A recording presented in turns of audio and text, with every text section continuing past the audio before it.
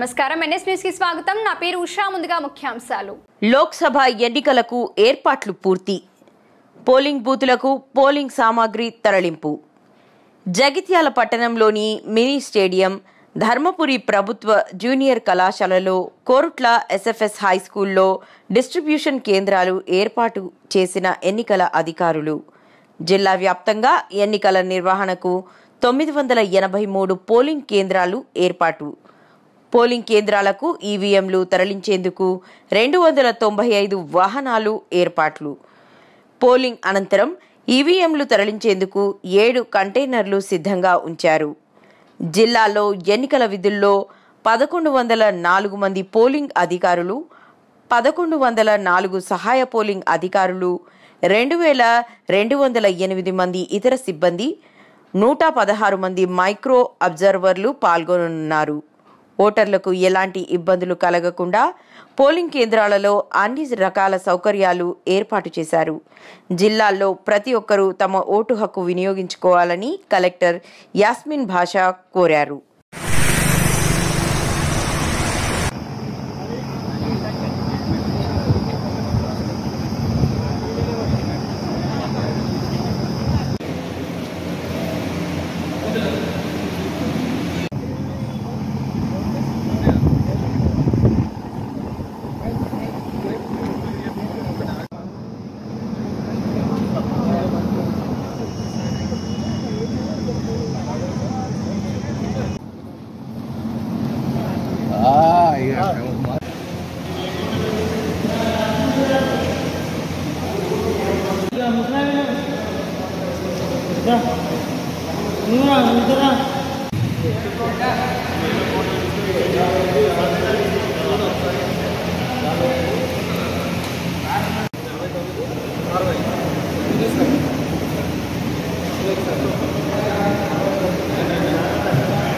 జిల్లాలో ఉండే మూడు అసెంబ్లీ సెగ్మెంట్ కోరుట్ల అదేవిధంగా జగిత్యాల నియోజక సెగ్మెంట్లు నిజామాబాద్ పార్లమెంట్ కాన్స్టిట్యూన్సీకి సంబంధించి అదేవిధంగా Dharmapuri assembly segment Peddapalli parliament కాన్స్టిట్యూన్సీకి సంబంధించి అన్ని ఏర్పాట్లు డిస్ట్రిబ్యూషన్ సెంటర్లో చేయడం జరిగింది. ఆల్ పార్టీస్ పోల్ పార్టీస్ కూడా ఫామ్ చేయడం జరిగింది. One hundred and nineteen percent reserve స్టాఫ్తో కూడా వాళ్ళు ఫెసిలిటేట్ చేయడం జరిగింది. ఎక్కడైనా ఎవరికైనా ఇబ్బంది ఉన్నా రీప్లేస్మెంట్ చేసి అన్ని పోల్ పార్టీస్ కూడా ఫామ్ చేసి వాళ్ళని అన్ని ఏర్పాట్లు ఎలక్షన్ మెటీరియల్ ఈవీఎంలు కూడా హ్యాండ్ ఓవర్ చేసిన తర్వాత సెక్టార్ ఆఫీసర్ ఆధ్వర్యంలో టోటల్ సెక్టర్స్ ఎనభై సెక్టార్స్ ఉన్నాయి.